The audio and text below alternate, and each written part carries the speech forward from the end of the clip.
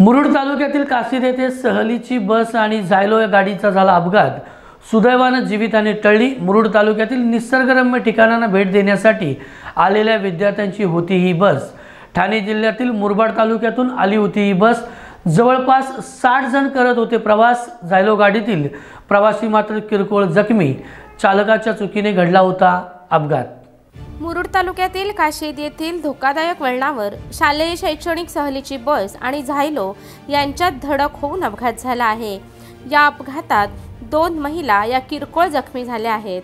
ठाणे जिल्ह्यातील मालेड तालुका मुरबाड येथील जिल्हा परिषद शाळेची शैक्षणिक सहल ही मुरुड येथे आली होती.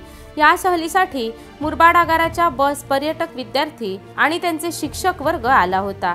विद्यार्थ्यांनी समुद्रकिनारी मनमुराद आनंद लुटला आणि बस काशीद बीच येथे परतीच्या प्रवासास मुरबाड येथे जाण्यासाठी निघाली.